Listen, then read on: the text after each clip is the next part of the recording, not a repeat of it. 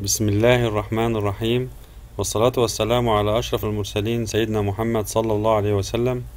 أعزائي طلاب الصف الثاني الثانوي أهلا بكم من جديد.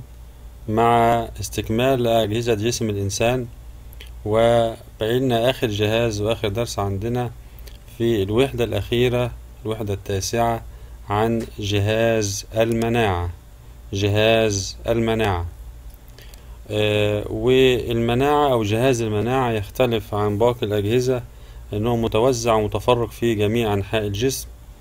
وهنتعرف على أشكال المناعة في جسم الإنسان. آه، العلماء قسموا المناعة في جسم الإنسان إلى نوعين مناعة غير متخصصة أو عامة ومناعة متخصصة أو نوعية. هنتكلم عن النوع الأول المناعة العامة أو المناعة الغير متخصصة.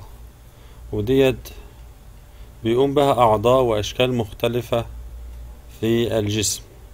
ودي بتمثل خطوط الدفاع الأولى ضد مسببات الأمراض. وخط الدفاع الأول ضد مسببات الأمراض هو الجلد. فأول خط دفاع عندي هو الجلد. دي الحواجز أو بتسبب خطوط الدفاع الأولى. أول حاجز عندي هو حاجز الجلد. آه، والجلد اللي بيغطي الجسم من الخارج آه، بيحمي أو يقي الجسم من كثير من الأجسام الغريبة اللي بتحاول اختراق الجسم. آه، فيقوم أو يوجد على الجلد أنواع من البكتيريا التي تعيش متكافلة على سطح الجلد. هذه البكتيريا اللي موجودة على الجلد آه، تهضم الدهون الجلدية وتنتج أحماض. هذه الأحماض تقوم بتقليل أو وقف نشاط العديد أو بعض مسببات الأمراض وتمنع دخولها للجسم. ودي أحد صور للبكتيريا اللي بتعيش على الجلد. المعيشة بينها وبين الجسم معيشة تكافلية تستفيد بعض الدهون الموجودة في الجلد. وفي المقابل تفرز أحماض توقف نشاط بعض مسببات الأمراض. الحاجز الثاني من خطوط الدفاع عن الأولى عن الجسم أو تتبع المناعة الغير متخصصة وهي الحواجز الكيميائية. والحواجز الكيميائية في الجسم عندنا أربع أنواع. أول نوع آه، اللي هو اللعاب والدموع. الدموع طبعا بتحمي العين واللعاب في الفم والإفرازات الأنفية آه، بتحتوي الدموع أو اللعاب يحتوي على إنزيمات محللة لجدر الخلية البكتيرية وتسبب موت الكثير من المخلوقات المسببة للأمراض. وعند أيضا بالإضافة عند اللعاب والدموع وتاني حاجة الإفرازات الأنفية آه، بالإضافة إلى المخاط الذي يبطن آه، الممرات التنفسية ويمطل القناة الهضمية من الداخل ويبطن الأعضاء الداخلية بيلتصق به كثير من المواد كالبكتيريا والفيروسات وتمنع دخولها أو أو دخول هذه المسببات إلى الجسم. كما تؤدي حركتها الأهداب اللي موجودة في الممرات التنفسية تدفع هذه البكتيريا إلى المخاط الموجود في الجهاز التنفسي وتطرده بعيدا عن الرئتين وده اللي بيسبب السعال والعطاس عند دخول بعض المسببات الأمراض بهدف طرد المخاط بما يحمله من مواد أو مسببات أمراض. ورابع شيء من المواد الكيميائية حمض الهيدروكلوريك أو حمض الكلور وده اللي بتفرزه غدد خاصة في جدار المعدة. بالإضافة إلى دوره في عملية الهضم كما تحدثنا سابقا لجعل الوسط داخل المعدة حمضي ليناسب عمل إنزيم البيبسين في هضم البروتينات. أيضا له دور في قتل العديد من مسببات الأمراض التي قد تدخل مع الطعام. يبقى أنا عندي الحواجز الكيميائية يا إما في صورة لعاب أو الدموع إفرازات أنفية المخاط المبطن مبطن لكثير من السطوح من الداخل وأيضا حمض الكلور أو حمض الهيدروكلوريك HCl اللي بتفرز من جدار المعدة. دي كلها مناعة غير متخصصة. كمان من خطوط الدفاع الخلوي آه، إذا اخترقت أحد مسببات الأمراض اخترقت الجلد واخترقت الحواجز الكيميائية وقدرت تصل إلى الخلايا بتقوم بعض الخلايا الدم البيضاء المعروفة باسم خلايا الدم الأكولة ودي منها نوعين نوع متعادلة وخلايا كبيرة.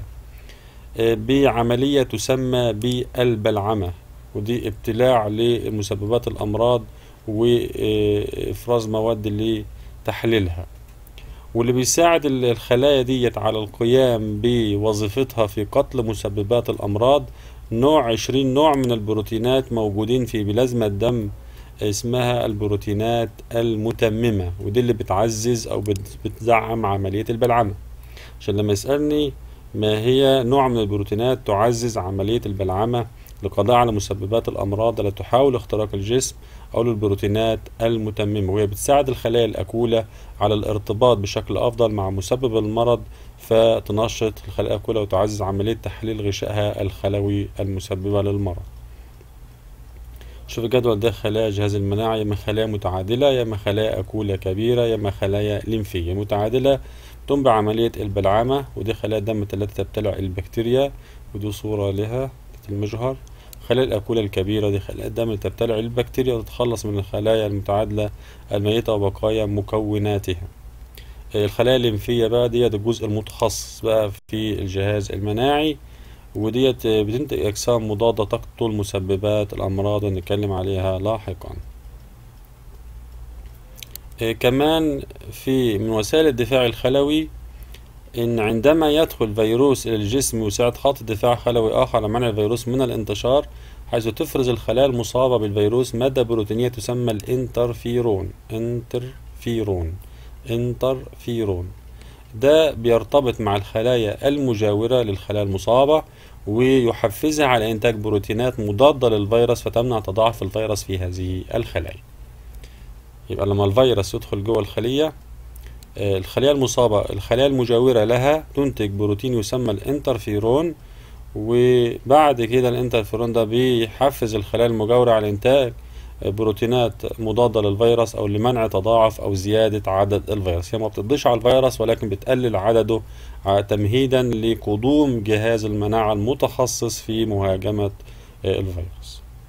كمان من وسائل المناعة الغير متخصصة حاجة اسمها الاستجابة الالتهابية. يبقى أنا عندي الجلد وعندي الحواجز الكيميائية وعندي عملية البلعمة وعندي عملية إنتاج مادة الإنترفيرون وعندي كمان الاستجابة الالتهابية. والاستجابة الالتهابية بتتم خلال سلسلة من الخطوات عند اختراق آه، الجسم بأحد المواد أو مسببات الأمراض. آه، ده على طول بينبه خلايا الجسم أو عملية آه، إفراز المزيد من خلايا الدم البيضاء في مكان الإصابة أو مكان الهجوم. وتتدفق كمية كبيرة من الدم إلى هذه المنطقة وتسمح لكثير من خلايا الدم البيضاء لمهاجمة الميكروبات. وطبعا زيادة تدفق المكان ال- الدم في هذا المكان بيؤدي إلى تورم في هذا المكان والتهاب وكمان بيسبب الألم وحرارة واحمرار في هذا المكان. وتنبيه لمكان ده يعتبر بمثابة يبقى الاستجابة الالتهابية بمثابة تنبيه بالمكان اللي موجود فيه الإصابة أو موجود فيه البكتيريا حتى يهجم جيش الدفاع على آه، مسبب المرض. يعني بيعملوا يبقى الالتهاب أو ارتفاع درجة الحرارة ده آه، تنبيه لخلايا الدم البيضاء للتجمع في هذا المكان. آه، وكده ده الجزء الخاص بالمناعة الغير متخصصة.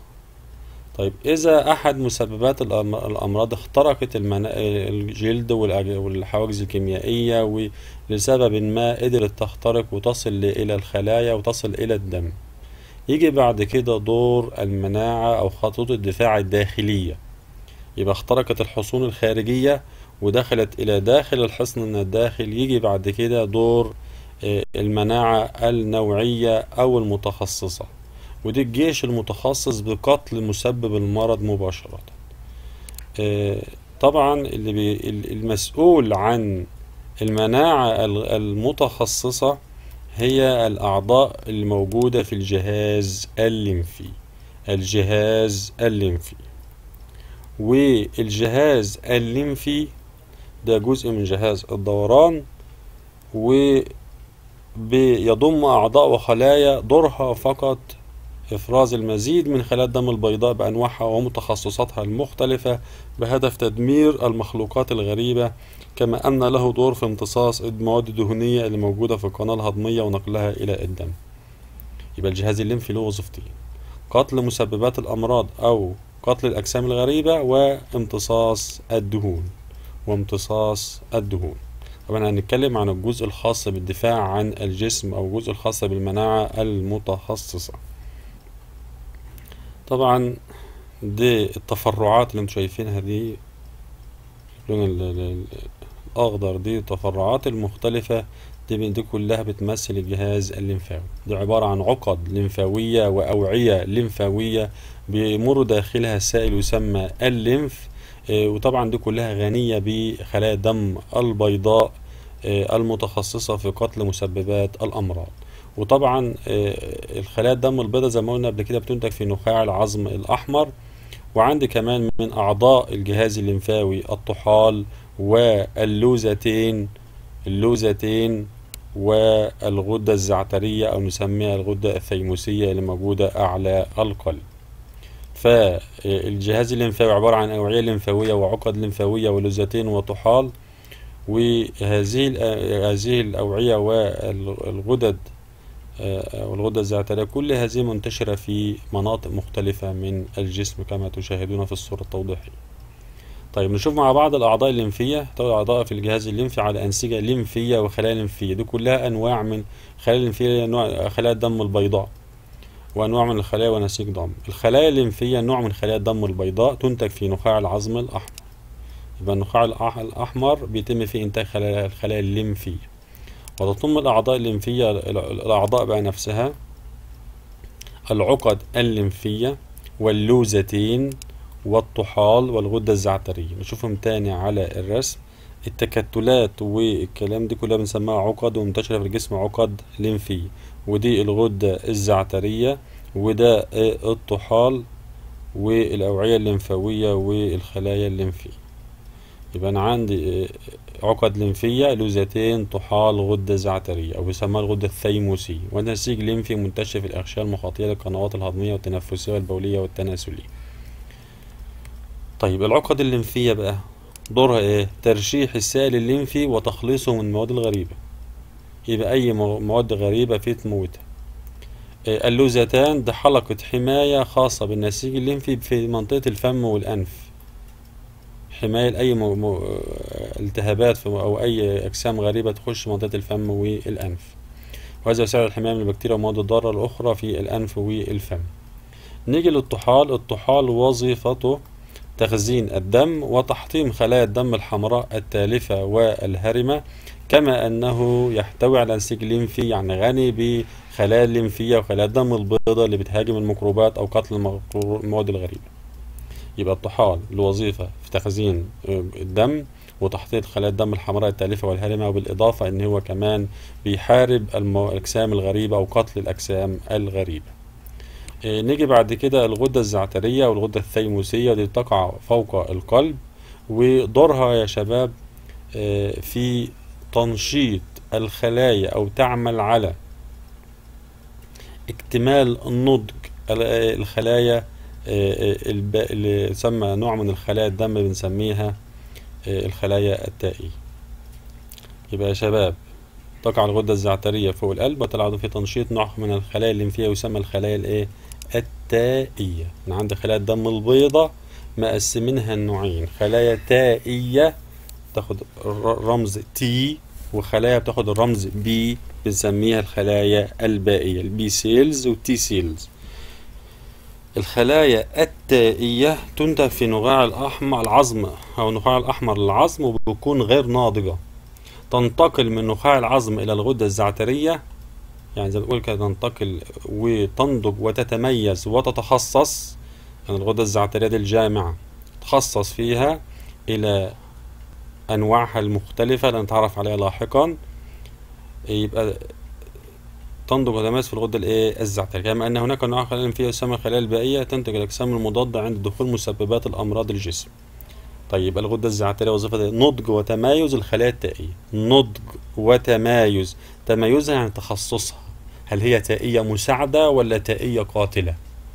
بمعنى آخر يبقى الخلايا التائية تدخل تخرج من نخاع العظم وتنتقل إلى الغدة الزعترية. هناك يكتمل نضجها والغدة الزعترية كمان تميزها الأنواع.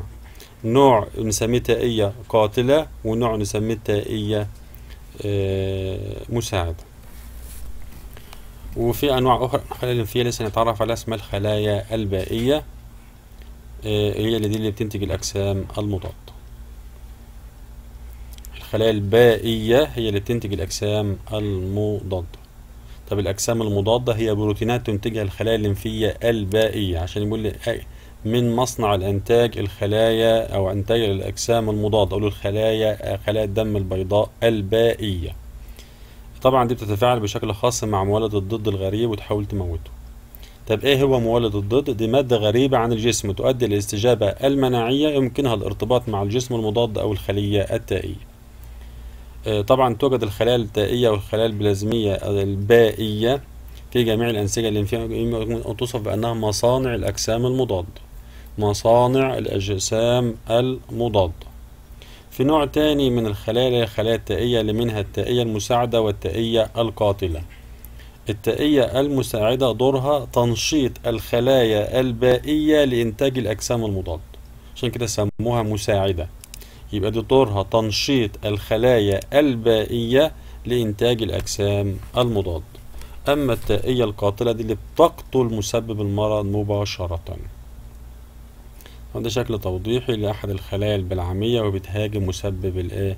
آه، المرض لغاية ما تسبب له الإيه؟ أو تسبب قتل مسبب المرض. في خلايا بائية بتنتج الأجسام المضادة والخلايا التائية المساعدة اللي بتساعد في اللي بتساعد الخلايا البائية في إنتاج الأجسام المضادة وفي التائية القاتلة اللي بتهاجم مسبب المرض. طبعا. وده شكل الشكل ده شكل الجسم المضاد شكل توضيحي مكبر للجسم المضاد وبيتكون من نوعين من السلاسل البروتينية سلاسل ثقيلة وسلاسل إيه؟ خفيفة. دي السلاسل البروتينية الثقيلة والأطراف هي السلاسل الخفيفة. وده مكان ارتباط مولد الضد مولد الضد اللي هو إيه؟ البكتيريا أو الفيروس اللي هو مسبب الإيه؟ المرض. نشوف استجابة الخلايا التائية ال T cells خلايا بعد تنشيطها نتيجة وجود مواد على سطحها الخلايا الأكولة ترتبط مع مجموعة من الخلايا فيها تسمى الخلايا التائية الإيه القاتلة وتنشيطها. تدمر الخلايا القاتلة مسبب المرض دورها. تدمير مسبب المرض. وبتطلق هذه التائية القاتلة بتطلق مواد كيميائية تسمى المحركات الخلوية أو السيتوكاينينات تسمى المحركات الخلوية أو السيتوكاينينات اللي بتحفز خلايا الجهاز المناعي الانقسام ونقل الخلايا المناعية إلى منطقة العدوى. تتعرض الخلايا التائية القاتلة بسبب المرض وتطلق المواد الكيميائية وتدمره. ويمكن الخلايا التائية قاتلة واحدة أن تدمر خلايا مستهدفة عديدة عدة خلايا. وزي ما يتضح من الشكل ده يا شباب دي التائية هلب المساعدة وديت القاتلة. طبعا القاتلة هي اللي بتنتج مادة السيتوكاينات دي مادة كيميائية لقتل مسبب المرض. طيب في عندي المناعة العلماء قسموها نوعين في مناعة سلبية ومناعة إيجابية. طبعا اللي, اللي عايزين نفهمه في الجزء ده يا شباب في آه، الخلايا ومن نتائج الاستجابة المناعية من إنتاج خلايا الذاكرة التائية والبائية. والخلايا نوع اسمه الخلايا الذاكرة. الخلايا الذاكرة ديت اللي بتحفظ شكل مسبب المرض. وبتعيش فترات طويلة بعد تعرضها لمواد الضد في أثناء الاستجابة الأولية للمناعة بحيث لو جاء نفس مسبب المرض مرة أخرى تكون حافظة شكله ومجهزة له الأجسام المضادة المناسبة له وتؤدي لقتله سريعا. مش لسه هتتعرف. طيب. فالمناعة السلبية ديت المناعة دي مناعة مؤقتة. مناعة يا شباب؟ مؤقتة. بمعنى إن مش الجسم الإنسان هو اللي بيصنع الأجسام المضادة. لا ده أنا بصنع أجسام مضادة في كائن آخر وفي شخص آخر واخدها من شخص آخر وأديها لشخص مصاب. جاهزة. طبعا دي بتظل فترة صغيرة في حالة الأوبئة والأمراض المنتشرة بتصلح هذه الأجسام المضادة الجاهزة. يبقى الحماية المؤقتة ضد مرض معدي أسميها مناعة سلبية. حماية مؤقتة يعني بيتم تصنيع أجسام المضادة لمسبب مرض معين أو لبكتيريا أو لفيروس في كائن آخر ثم حقن الإنسان بها. طبعا تستمر فترة صغيرة في الدم ثم تختفي.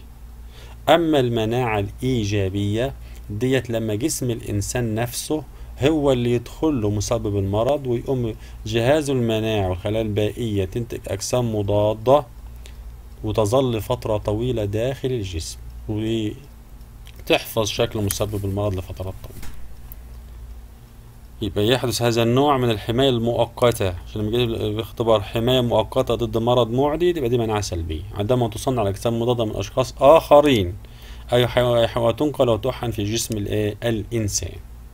وزيها بالظبط بتحدث عند انتقال بعض الأجسام المضادة من جسم الأم إلى الطفل أثناء الحمل أو أثناء الرضاعة. بتظل فترة صغيرة داخل جسم الرضيع لغاية ما جسمه هو اللي يكون مناعة بعد كده. أما المناعة الإيجابية تحدث بعد تعرض جهاز المناعة لعديد من المولدات ضد مسببات الأمراض وإنتاج خلايا الذاكرة اللي بتحفظ الميكروب وإنتاج أجسام مضادة. دي تظل فترة طويلة. يبقى نتيجة حدوث مرض معدن أو نتيجة إيه يا شباب؟ التطعيم. وده اللي بتقوم بأي دولة بتطعيم الأطفال في الصغر بتطعيمات معينة بحيث جهازها المناعي هو اللي ينتج أجسام مضاد مش أعطي للطفل جسم مضاد جاهز لأ ده أنا أعطيله ميكروب يموت طبعا ميكروب ينتج الأجسام المضاد طب هل إحنا نؤدي أو نعطي للطفل ميكروب يسبب له أمراض أو يسبب له وفاة؟ لا. جت الفكرة في التطعيمات إن هما بيحقنوا الأطفال بمسبب مرض ميتة أو ضعيفة أو غير قادرة على طبعا غير قادرة على سبب في المرض. عرضها الحرارة للإشعاع بتكون ميتة أو أو ضعيفة جدا. بحيث تدخل الجسم ما تسببش العدوى للطفل ولكن هدف دخولها للجسم حتى يتعرف جهاز المناعة على شكلها. بحيث لما يصاب أو تنتقل عدوى من شخص آخر تكون ميكروب حقيقي يكون خلاص جسم الطفل كون اجسام مضادة وتعرف عليها مش يبقاش أول مرة يدخل الجسم. يبقى معظم التطعيمات بتحتوي على مسببات أمراض يعني بكتيريا أو فيروسات ميتة أو ضعيفة. بحيث دي تحفيز للجهاز المناعي لإنتاج خلايا ذاكرة تحفظ شكل مسبب المرض بحيث لما ينتقل من شخص آخر يكون خلاص الجهاز المناعي مكون أجسام مضادة جاهزة في الدم بحيث لما يخترق الجهاز أو مسبب مرض حقيقي يقوم خلاص الجهاز المناعي يهاجمه بسرعة وما ياخدش وقت. طبعا التطعيمات اللي بتعرض على التطعيم الثلاثي كل دي التطعيمات العامة اللي لمسبب المرض. طيب فشل جهاز المناعة. طبعا قد يكون في عيوب في جهاز المناعة نتيجة سوء التغذية أو إصابة بعض الأمراض أو انتشار أو الأمراض المعدية وتطورها وتغير شكلها وإصابة بعض أنواع السرطانات تؤدي إلى ضرر بالجهاز المناعي. مثل الإصابة بمرض نقص المناعة المكتسبة اللي مسمى معروف باسم الإيدز اللي بيسببه مرض أو بيسببه فيروس ال HIV وده من أخطر الفيروسات لأن ده بيصيب الجهاز المناعي ويضعف جهاز المناعة. ووجد العلماء أن هذا الفيروس بيدمر نوع من خلايا الدم البيضاء اسمها الخلايا الدم التائية المساعدة. يبقى ال ال ال الفيروس المسبب للإيدز بيدمر خلايا التائية المساعدة وديت المسؤولة عن تنشيط الخلايا البائية لإنتاج الأجسام المضادة. يعني الشخص ده مع الوقت يقل عدد الخلايا التائية في جسمه فيصبح مناعته ضعيفة جدا. يبقى الفيروس ده يا شباب بيؤدي م- طبعا بيصيب الخلايا التائية المساعدة المعروفة باسم السي دي 4 plus CD 4 plus ده نوع الخلايا اللي بيشتغل عليها فيروس ال H اي في المسبب لمرض الايدز وده مرض اسمه نقص المناعة المكتسبة لأنه بيضعف جهاز المناعة لأنه بيدمر الخلايا التائية مع الوقت بيضعف الجهاز المناعي. طبعا الفيروس ده بينتقل من شخص مصاب شخص سليم عن طريق آه، نقل الدم الملوث أو عن طريق الاتصال الجنسي آه، ومن أعراض ال- المرض ده آه، الشخص آه، بيصاب بالتعرق الليلي والحمى وطبعا قد يعيش الشخص آه، لا- في البداية بيكون أعراض قليلة لفترة زمنية تصل لعشر سنوات وفي الفترة دي يكون قادر على نقل العدوى آه، لأن الفيروس بيكون كامن لفترات معينة لغاية ما يقضي على معظم خلايا الدم آه، البيضاء التائية. بعد كده الشخص ممكن لأقل الأ- الأسباب أو الأمراض يحصل له وفاة. عشان كده بيعزل في أماكن خاصة أو مستشفيات خاصة لمنع انتشار العدوى وكمان لأن مناعته أصبحت ضعيفة. وبهذا القدر يا شباب نكون انتهينا من درس آه، المناعة. وكده ده كان آخر درس في المنهج آه، مقرر أحياء اتنين آه، وكل عام وأنتم بخير وشكرا والسلام عليكم ورحمة الله وبركاته.